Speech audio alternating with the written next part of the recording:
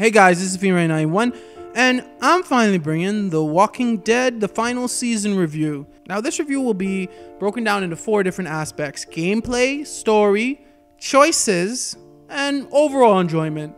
Was this game great? Was it bad? Was it somewhere in between? Let's find out. Let's start with gameplay. Now, gameplay has never been a big thing in The Walking Dead, let's face it, it's kind of just been the side thing to the story. But they did have some aspects of gameplay that actually brought it up from previous games, such as the run mechanic. This is a mechanic I would have actually liked in earlier games more so because in the final season, even though it is good to have a run mechanic, most of the areas are so confined that the run mechanic doesn't do much. In season one and season two, I think there were more open areas that you could run around, but you didn't have a run mechanic. So I think it would have been worked better if they actually brought this in sooner, but it's still a nice addition to have. I also like that they brought back the whole ability to actually aim and shoot. Now, what do I mean? In season one, when you went into like guns and whatnot, you got to actually aim and shoot. So you actually had to have some skill.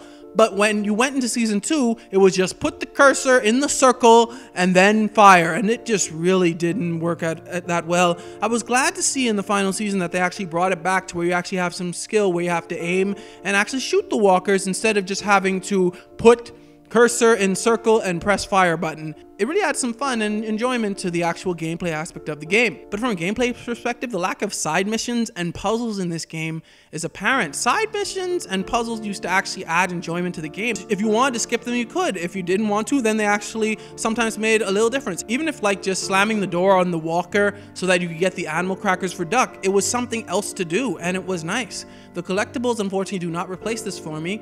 So gameplay wise, most of the additions were good, but the collectibles, instead of doing like side missions or even some of the game's puzzles, no. So with gameplay, I gotta give it a 9 out of 10. It made some pretty good improvements, but the collectibles just didn't do it for me. But let's move on to story. Well, did this game overall have a good, compelling story? Not really. I'm sorry. It wasn't bad story, but it wasn't a real good, compelling one. Why? Because I feel as though they had so much starting points, but they just couldn't finish. Such as Delta is alluded to from episode 1, but at the same time, you never actually see the Delta.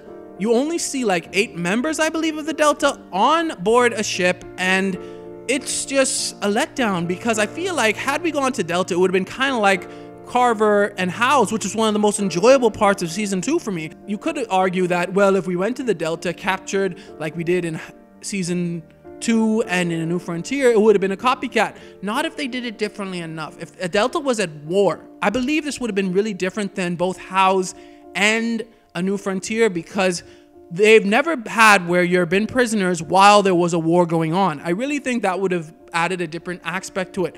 But sadly, it wasn't followed through, just like with Lilly, When Lilly was brought back, but she wasn't actually in that many scenes. And it's sad to bring back such a strong character and hardly use her. But I did enjoy the aspect of Clementine actually ending up with a group of kids. As you guys recall from my top five biggest mistakes video, I really wasn't into season two, how Clementine was a kid ordering adults around basically.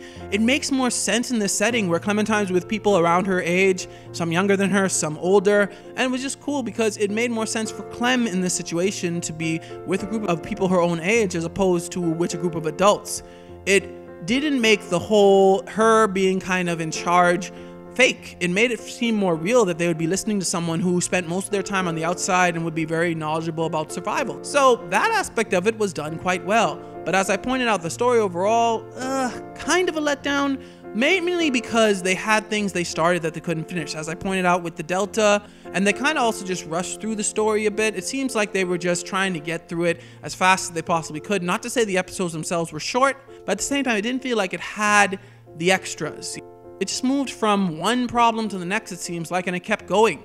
It wasn't like season one. It also didn't have the best pacing. Season 1 and even Season 2 had pretty good pacing, where you didn't feel like you were just being bombarded from one problem to the next. You actually would have these moments where the character would be like, okay, let's just settle down, let's do this, let's do that. Not where everything is just, oh, now we have this problem, okay, now we have this problem. No. So the story itself, even though it wasn't bad, it wasn't good. So I got to give the story a 6 out of 10. They had so many good ideas, I think, but they just couldn't see them through to fruition. And I'm sure some of this had to do with the lack of budget and maybe less time, obviously, given what happened with Telltale Games. But based just on what we have, This feels like a story that could have been something, but it never quite reached there. Okay, choices.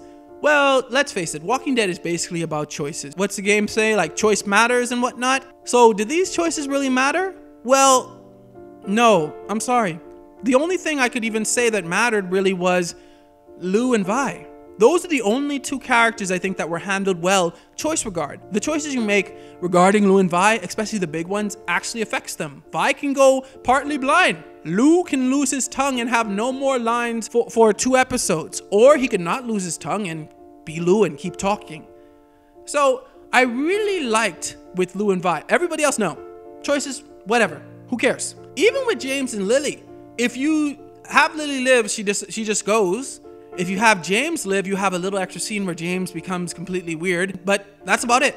So, other than and Vi, I'm gonna say that the game was pretty weak on choices actually mattering or illusion as if they actually mattered because even with all those endings, it still didn't seem like most of the choices really mattered. Even with AJ, the big your choices will affect him, at the end, all you really do is get a list of things on how your choices affect him. No, no, no. And then you get to play with him at the end, which was kind of the mistake in season two. How can your choices affect AJ if you're going to be playing with him? Because then you can completely ignore the choices you made and have AJ just be whatever you want. So, to me, they messed this up on choices. Lou and Vi were done okay. That's it. Everybody else, even AJ, choices really didn't matter. So with choices, I gotta give this game a 5 out of 10. Okay, overall enjoyment of this game. Did I enjoy this game? Yes, I actually did.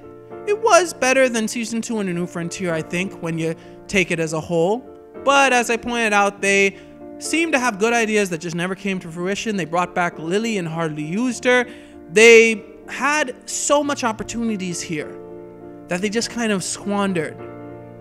And it just overall didn't feel like your choices really mattered other than with Lou and Vi. And the collectibles just didn't do it for me. So overall enjoyment of this game, I'll still give it a 6 out of 10. I enjoyed some of the features they brought back, like being able to actually have some skill when taking down the walkers. And it was overall an okay story. It wasn't anything to brag home about, but it was okay. So 6 out of 10. Alright, now for the overall review. We have to combine the scores.